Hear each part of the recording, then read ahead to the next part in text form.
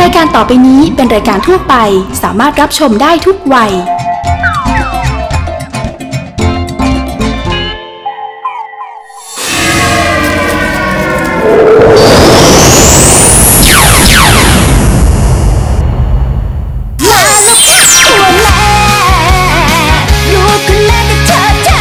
สนับสนุนโดย c o d y Plus ถังเช่าที่อาจารย์วิโรธมั่นใจหลังจากนั้น พี่โชคกลับมาพบกับตัวแม่มาแล้วท่านผู้ชมฮะถ้าสมมติจะพูดถึงตัวแม่ของการมูเตลูนางมีเรื่องเล่าแปลกๆเยอะมากมาย ว่าแล้ววันนี้ฉันคุณรู้สึกขนลุกๆเหมือนมีอะไรจะมาหลอนเลยสักอย่างหนึ่งไม่มีใครตามหนูมาไม่มีนะไม่มีไม่มีนี่นะคะเรื่องเซนส์ค่ะเรื่องความฝันเรื่องสัมผัส หรือสิ่งที่เกิดขึ้นกับชีวิตของนาง บางทีนางก็ยังหาคำตอบ ตัวเองไม่ได้เลย ขอต้อนรับซานิฮะสวัสดีสฮะวัสดีค่ะสวัสดีค่ะเป็นยังไงเนาะ สบายดีค่ะ ตอนนี้สบายดี นับวันพัฒนาการการเป็นผู้หญิงของเธอมันมีมากขึ้นเรื่อยๆนะเนี่ย ใช่พัฒนาการของหน้าด้วยนะ นี่ถ้าแมสไม่ปิดนะคะเออจะเห็นจกทำไมเมื่อก่อนแมนมากเหรอนี่เปลี่ยนไม่จมูกไปเปลี่ยนจมูกพี่ให้เปิดได้แป๊บหนึ่งน้องไหนๆนี่คือจมูกซีรีส์ที่เท่าไหร่ซิลสามสามเป็นยังไงแล้วก็พอก่อนนะ ไม่ไหวแล้วทำไมคะนี่อ๋อจมูกใหม่ อ๋อใช่แล้วจะมองไม่ค่อยรู้นะ คือคือจะบอกว่าเพราะว่าที่จริงเปลี่ยนเนี่ยไม่ได้เปลี่ยนเพราะว่าเรารู้สึกว่าอุ้ยอยากจะสวยขึ้นหรืออะไรอ๋อ คือพอมันทำหลาย ๆ ปีเนี่ย มันแกนมันรัดแล้วมันเจ็บเกิดอาการบาดเจ็บค่ะอ๋อก็เลยแบบว่าโอเค ถึงเวลาแล้วที่จะต้องแบบว่า แก้ใหม่ท่านผู้ชมฮะเวลาเราไปนู่นไปนี่ เราไปเอาของจากที่นู่นมาไปซื้อของเก่าเข้าบ้าน มีคนให้ของเก่าเรามา หรือไปเอาสิ่งศักดิ์สิทธิ์ที่นู่นที่นี่มา เราคิดเหรอว่ามันมีแต่ความเป็นมงคลเข้าบ้าน ล่าสุดเรื่องของเรื่องที่วันนี้เราต้องเชิญคุณมาค่ะไม่รู้ตัวเอง เอาผีพรายเข้าบ้านตัวเอง เฮ้ยแต่หนูว่าไม่รู้ ต้องบอกก่อนว่าไม่รู้จักเลยว่า เอ๊ะผีพรายคืออะไรอะไรอย่างเงี้ยค่ะ หนูไปที่ไหนมา คือมีรุ่นน้องทักมาบอกว่าเจ้พอดีหนูทำเอ่อเป็นเป็นเรื่องของศักดิ์สิทธิ์พวกเนี้ย แล้วก็มีการปลุกเสกเขาทำอะไรครับเขาตอนนั้น ทำเออเป็นกำไรค่ะ เขาถามหนูว่า เจ๊อยากได้ไหมหนูก็เลยบอกว่าเอ้ยถ้าเป็นของศักดิ์สิทธิ์อะหนูโอเคนะอืมแล้วก็เขาก็บอกว่าเขาปลุกเสกมาเรียบร้อยนี่หนูพูดหนูก็ยังขนลุกอยู่เขาปลุกเสกมาเรียบร้อยแล้วหนูก็เลยบอกว่าโอเค ถ้าอย่างนั้นก็ขอเป็นตัวนี้ละกัน ขอเป็นกำไรอันเส้นนี้ละกัน เพราะว่าน่าจะช่วยในเรื่องที่หนูอยากจะให้ช่วยพอดีเขามีช่วยเรื่องอะไรบ้างครับตอนที่หอันนูคุยอันนั้นก็จะเป็นเหมือนเหมือนเอ่อเศรษฐีค่ะ เป็นเศรษฐีเกี่ยวกับเงินทองเกี่ยวกับเงินทอง ส่วนใหญ่หนูจะแบบจะจะเป็นเรื่องงานเรื่องคนเอ็นดูค่ะก็เลยขอเป็นเรื่องนี้ ก็ได้มันวันวันแรกเลยค่ะ วันแรกก็รู้สึกว่า เฮ้ย มันมีของบาด หมายถึงว่าเราเสีมัยนมีเลือดของเราเสียเลือดอะพี่มดมีของบาทใช่ บาดโดยที่เราไม่ได้ตั้งใจ วันแรกหนูก็ยังไม่คิดอะไรคือ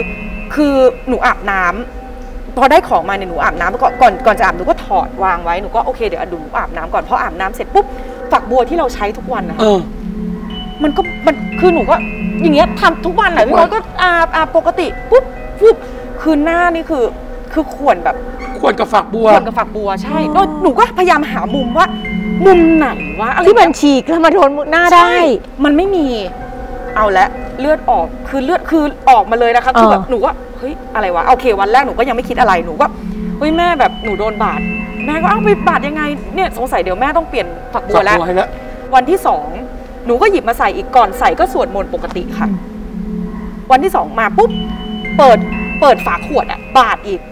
บาทตรงไหนอีกบาดนิ้วอีก หนูก็เสียเลือดอีกแล้วใช่หนูก็เอ๊ะเราก็ตั้งใจแล้วนะเราก็ไม่มีอะไรนะ ไม่ได้แบบจะจะจะต้องมาแบบมาพลาดเรื่องแบบนี้ วันที่สองผ่านไปก็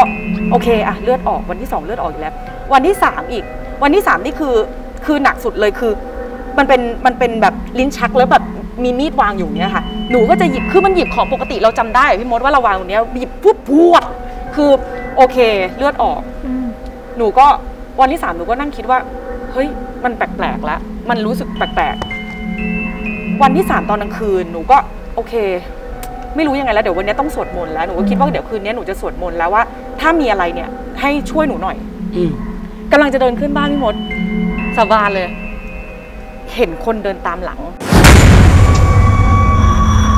เป็นเงาดำตามหนู ๆตามหนู หนูก็หึใครวะเลยหนูก็หันไปหนูก็มันก็ไม่มี อืม หนูเดินขึ้นบันไดเดินก้าวก้าวก้าวจะขึ้นบันไดอะตามตลอด คือเห็นคือคือคือรู้เลยว่ามีคนเดินตามอะวันที่สามหนูก็โอเคแล้วอืมนาน่าจะแปลกๆแล้ว ก็เลยไลน์ไปถามรุ่นน้อง เฮ้ยของปลุกเสกที่ไหน อืมรุ่นน้องก็บอกว่า หนูก็ไม่รู้เหมือนกันว่าเจ้แต่ว่ามีมีแบบมีมีคนเขาไปเอาไปให้พระอาจารย์ อะไรก็ไม่รู้แล้วก็เนี่ยปลุกเสกมา แล้วก็มาเอาเอามาให้หนูอ่าฮะทำแบบเหมือนให้เช่าค่ะ หนูก็บอกเออของมันดูแปลกๆนะ จะว่าอะไรไหมถ้าเกิดพี่จะถอดพี่จะก็คือยังไม่กล้าคืนหรอกพี่มดเพราะว่าด้วยความเป็นรุ่นน้อง ก็เลยบอกเขาว่า อย่างนั้นขอถอด รู้สึกแปลกๆคราวนั้นก็มีเพื่อนอีกคนนึงอยู่ดีๆอะ ก็ไลน์มาแล้วก็บอกว่า เฮ้ย ใส่ของพวกนี้อยู่ป่ะหนูก็บอกว่าใส่แล้วแล้วก็กำลังเจออะไรบางอย่างที่แบบ ที่ไม่โอเค โอเค เฮ้ยกำลังจะบอกว่า มีผีพายนะซึ่งซึ่งเพื่อนคนเนี้ยเป็นเพื่อนที่อยู่ต่างประเทศคืออยู่อเมริกาค่ะ แต่ว่าเวลาเขากลับมาทีไรเขาก็จะเขาเรียกว่าจะสวจะจะบวชบวชบวชพราหมณ์บบววชชชีชีพพราราหหมมณ์ณ์ทุกครั้งเขาบอกว่ายูต้องถอดแล้ว เพราะว่ามีผีพายเขามาทักเลยเขามาทักเลยหนูก็เลยบอกโอเค ได้ถอดเลยดีกว่าพอถอดมาวางปุ๊บอะด้วยความโกรธของหนูอะพี่หนูก็ตะโกนขึ้นมาในบ้านว่า ถ้าคิดจะแรงกว่าพระนะ ในบ้านอะออกไปเลย แม่ก็ตกใจคือแม่ก็เป็นคนกลัวอยู่แล้ว แม่ก็บอกว่าเฮ้ยทำไมหนูตะโกนขึ้นมาแบบนี้อะไรเงี้ยหนูก็เลยบอกว่าคือหนูเห็น เห็นว่าเขาเดินวนรอบจริงๆ ไม่ไหวแล้วต้องให้พระเนี่ยกดกดเขาไว้ก็เลยบอกบอกเขาว่า ถ้าจะแรงไม่ต้องอยู่ ของเนี่ยออกไปให้หมดเลยแล้วหนูก็เลยเอาไปวางไว้ตรงที่ของพระอะให้พระท่านกดเอาไว้ อืมสุดท้ายก็หาย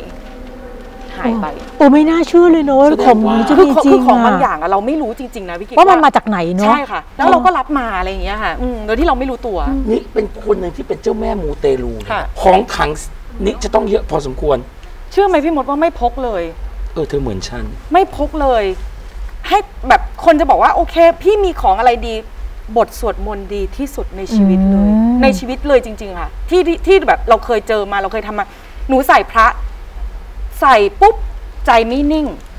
สติไม่ครบสมาธิไม่มาไม่เกิดทุกอย่างก็แย่เหมือนเดิมอืมแต่บทสวดเนี่ยจะเป็นสิ่งที่ติดปากหนูที่สุดที่หนูรู้สึกว่าขลังที่สุดในแล้วซาชีนิวิตบทสวดของซานินี่สวดเป็นยังไง เออ ของหนูเป็นยังไงหนูสวดเป็นมหาอุดค่ะอ๋อหนูจะสวดหนูจะใช้เวลาแบบประมาณ 7 นาที พี่มดจะสวดไล่ตั้งแต่แบบเอิ่ม คาถาชินบัญชร มีแบบขอขมา มีคาถาแบบบทเอ็นดูนะเมตตา ไปจนถึงสุดท้ายก็จะจบที่มหาอุด มหาอุดนี่มีแค่สี่คำง่าย ๆ ค่ะคือนะมะพะทะนะนะมะพะทะใช่ แต่ว่าเวลาพูดเนี่ยมหาอุดก็คือใช้ลิ้นอุดเพดานเอาไว้อันอันอ๋ออัอันนี้อันนี้พูดว่าสำหรับคนที่ที่อยากจะสวดแต่ใจต้องจิตต้องดีด้วยนะคะคือนะมะคือพะทะใช่ไม่ใช่ว่าแบบอุ้ยอยากจะได้อยากจะได้อยากจะได้แล้ว ท่องมหาอุดหูอยากรวยจังเลย แต่คุณไม่คิดจะทำอะไรเลยก็ไม่ได้นะอ่าอันนี้มันทำให้เรามีสติในการที่จะทำอะไร เพราะฉะนั้นบทสวดก็จะถือว่าเป็นสิ่งที่ขลังที่สุดในชีวิตหนูค่ะอืมอืมอืมนำมาพะทะสามรอบนะค่ะโอเคเขาบอกไอ้เนี่ยแหละ มันเป็นจุดเปลี่ยนชีวิตมันทำให้ชีวิตหนูเนี่ยเริ่มมีเงินมีทองเริ่มมีชื่อเสียงเริ่มมีงานมีเงิน อืมจะบอกว่าใช่ไหมหนูหนูก็เชื่อว่าใช่เพราะหนูเป็นพุทธศาสนิกชนค่ะคือพอเราสวดมนต์เราจะรู้สึกว่าสิ่งดีๆ จะเข้ามาในชีวิตค่ะ แต่ว่าโดยองค์ประกอบโดยส่วนรวมอะ ก็จะเป็นเป็นเรื่องของความขยันของเราด้วย คือ คือหนูก็ไม่เกี่ยงงานด้วยจะน้อยจะมากหนูก็พุ่งไปหมดทุกอืมทุกที่ทุกทุกที่แต่บทสวดเนี่ยเป็นส่วนหนึ่งที่ก่อนเราจะก้าวขึ้นเวทีขึ้นไปร้องเพลงเนี่ย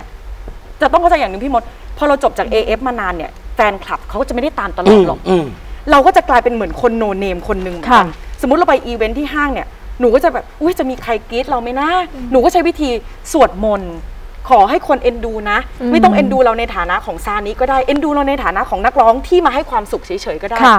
พอเราสวดมนต์ปุ๊บขึ้นเวที คนก็แห่ก็ยังเหมือนเดิมเราก็ happy กับเราใช่เนาะค่ะ มันก็เป็นเหมือนกันเป็นพลังเสริมให้เราอีกทางหนึ่งเหมือนว่าสยบความตื่นเต้นถูกต้องค่ะ ถูกต้องพอเราสวดมนต์แล้วเรารู้สึกเออมันดีกับชีวิตอื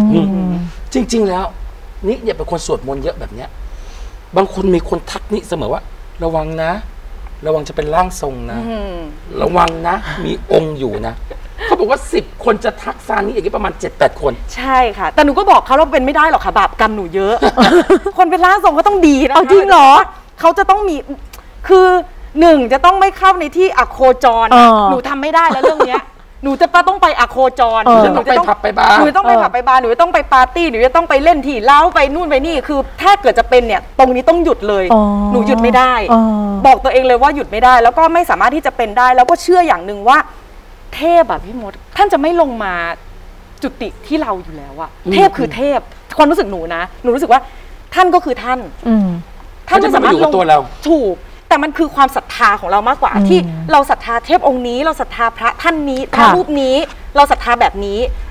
แต่ไม่ได้ถึงขั้นว่าคนจะบอกว่าหุยเธอต้องเป็นร่างทรง เธอต้องเอาเทพองค์นี้มาจุติที่เธอแล้วเธอก็ต้องบอกทุกคนได้อะไรเงี้ยหนูหนูจะไม่เชื่อเรื่องเรื่องพวกนี้เลย แล้วเคยมีคนทักบอกว่าเราเนี่ยเหมือนมีองค์อะไรไหมก็ก็มีคนทักค่ะค่ะมีคนทักว่ามีเซนต์นะมีองค์ของเอ่อตอนนั้นมีองค์พ่อศิวะพ่อศิวะอ่าพ่อศิวะค่ะ หนูจะมีความเป็นเหมือนเหมือนแอบสองเพศอยู่ในตัวคือมีความแมนมากเลยมีความเป็นอ่าผู้จริงชายมากเลยอะไรอย่างเงี้ยโอ้ท่านก็ก็จะมีคนทักว่ามีองค์องค์พ่อแล้วก็ค่ะคนทักอย่างเงี้ยค่ะมาประมาณ 3 4 ที่แล้วว่ามีองค์พ่ออยู่แล้วบูชาไหมคะ หนูก็บูชาแบบสวดมนต์ค่ะ สวดมนต์ตามปกติก็จะระลึกถึงอะไรอย่างเงี้ยค่ะ แต่ไม่ได้ถึงขั้นว่าต้องพุ่งไปทางว่า โอเค จะต้องไปทางองค์พ่ออย่างเดียวคือ ทุกเทพหนูก็หนูก็สวดหมดอะไรอย่างเงี้ยค่ะอืมเห็นเขาบอกมีสิ่งหนึ่งในตัวนี้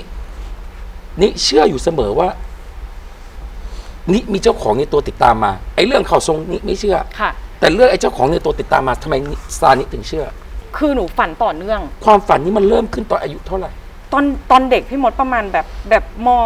มต้นอะที่หนูเริ่มฝันแต่ฝัน 3 วันติดกัน โอ้ เหตุการณ์เดียวคือต่อเนื่องกันตอนตอนแรกก็คิดว่าเอ๊ะเพราะเราดูหนังแบบอืม ละครเยอะเกินไปหรือเปล่า แต่ว่ามันกลายเป็นเราเห็นภาพนั้นจริง ๆ ฝันตั้งแต่วันแรกว่าเราเป็นใคร ฝันมาวันที่สองว่าเราเข้าไปอยู่ที่ไหน หนูเป็นเด็กคนหนึ่งเด็กทั่วไปนี่แหละอือฮึแล้วก็เข้าไปเรียนรำเหมือนคงเป็นนาฏศิลป์สมัยก่อนค่ะอย่างเงี้ยค่ะ แล้วก็มีโอกาสเข้าไปอยู่ในบ้านของคนคนนี้ คนที่เป็นสามีเราในอดีตนี่แหละ แล้วเราก็เข้าไปรำเหมือนไปเหมือนไปเอ่อถวายลำอย่างนี้เหรอเป็นโชว์อ๋อเขาเรียกว่าเหมือนเป็นไปรำโชว์แบบเป็นอ๋อเป็นการแสดง เขาเกิดถูกใจก็เราก็ไปเป็นภรรยาเขาอืม แต่พอวันวันที่สามเนี่ยที่หนูฝันก็คือ เหมือนเราเป็นภรรยาเขาอยู่ในบ้านเขาไปแล้วอืมอะไรอย่างเงี้ยค่ะ ซึ่งเขาก็มีภรรยาหลายคนนะคะ ไม่ได้มีแค่เราคนเดียวอ๋อแต่วันที่มันเกิดเหตุวันสุดท้ายก็คือเกิดเหตุการณ์ขึ้นทำให้เรากับสามีเราในอดีตชาติเนี่ยจะต้องแยกจากกันด้วยการตาย มีคนจะฆ่าเรา แล้วเขาเอาตัวมากันอ่าตัวมากันเรา แล้วก็เป็นหน้าแบบจ่อกันอยู่อย่างเงี้ยค่ะแล้วจบด้วยคำสุดท้ายว่า จะไม่มีใครเอามึงไปจากกูได้ ถ้าหรอกูไม่ให้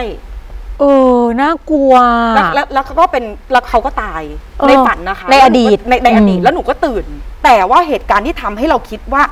สุดท้ายแล้วเขาเนี่ยมาอยู่ในรอบตัวเราจริง ๆ เพราะว่าพอดีได้ได้ไปวัดหนึ่งวัดค่ะ แล้วก็มีพระท่านทักว่ามีคนมีคนตามโยมนะ พระมาทักเองเลย พระทักเองเลย โยมมีคนตามโยมนะ เวลาโยมทำบุญนะ เวลาโยมสวดมนต์โยมโยมนึกถึงเขานะอ๋อเขาอยู่ข้างๆโยมดูแลโยมมาตลอดเลย ก็เลยทำให้ซานีนึกถึงพระสามีในอใช่ดีตใช่ค่ะ ตลอดเลยอ๋อแล้วก็เราก็จะคิดตลอดว่าเนี่ยแหละคือเทวดาประจำตัวเองอืมที่แบบคอยดูแลว่า ไม่ให้เราแบบผิดพลั้งกับเรื่องไหน เพราะอะไรกำลังจะพลาดหรือจะเกิดอุบัติเหตุอะไรก็จะโดนมีการช่วยตลอด มีการมาเตือนใช่ค่ะอืมเห็นครั้งหนึ่งเคยไปหาร่างทรงเลยค่ะเพื่ออยากจะรู้ความจริงว่าไอ้สิ่งที่ตัวเองฝันฝันฝันฝันอยู่เนี่ย เขาก็ยังตอบว่าเป็นคู่ที่ติดตามมาในอดีต ใช่ค่ะ นี่ก็เลยเชื่อเรื่องคู่ที่ติดตามในอดีต เคยถามไหมว่า แล้วเราจะมีคู่จริง ๆ ในชาตินี้ได้ไหมเสียคนที่หนูคิดว่าจะจริงจังในชีแฟวิตนแฟน ใช่ ไปสองคนฉันเห็นกับตาเลยอะว่าตลอดระยะเวลาที่เขาอยู่กับคุณ ชีวิตคุณก็ไปในทางที่ดีขึ้น ใช่ค่ะ รอดตายก็เพราะเขาครับ ว่าเนี่ยมีคนห่วงนะ มีพระท่านบอกว่าขอขมานะทำสัญญาทั้งปวงเคยทำเอาไว้เนี่ย ให้ขาดออกจากกัน